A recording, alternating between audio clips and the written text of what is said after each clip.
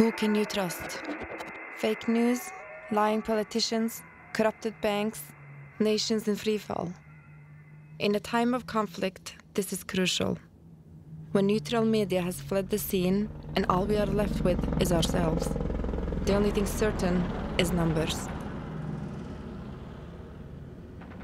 Me and Reza were hacking whatever system we could get into, inserting worms, Trojan horses, and spyware, hoping it would buy us and our families some time. But we were running out. Expecting anyone? No?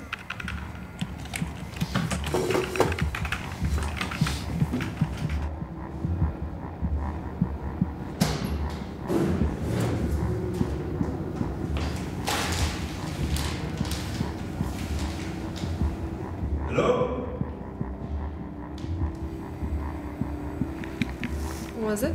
I don't know. Someone left this. It's your name on it. Creepy? What is it? From the moment I saw the photographs, I knew somebody had trusted us with their life.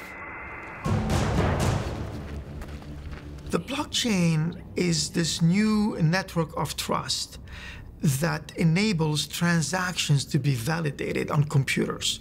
So now, instead of going to a third party, instead of going to an intermediary that could be a bank or a financial institution or, or a corporation that we trust today, the trust is going to be in the network of computers that are talking with each other, that are always in sync with each other, that always know about what each other is doing.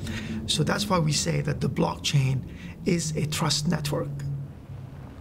How did you get here without any papers? Well, have you heard about blockchain? Okay, what has the blockchain to do with you being here with no papers? Well, before I fled, I uploaded all my documents into a digital grab bag. Okay, so you know computing.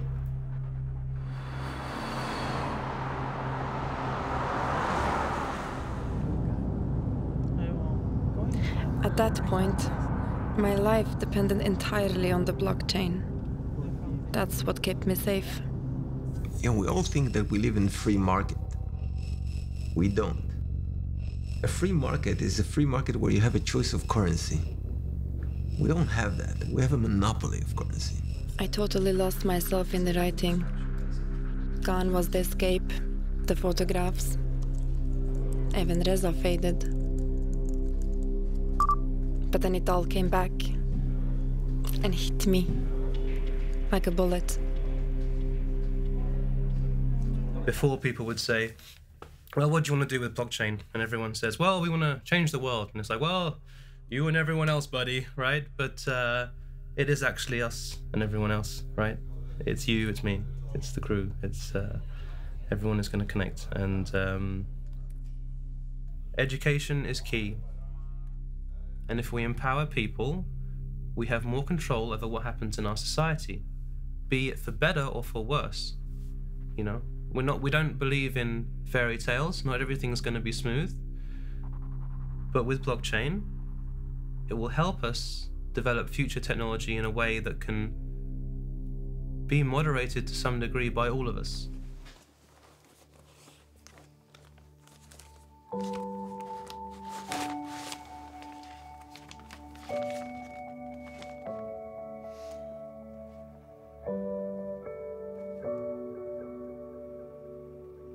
Can we put our trust in numbers? I don't know. But let me take a guess.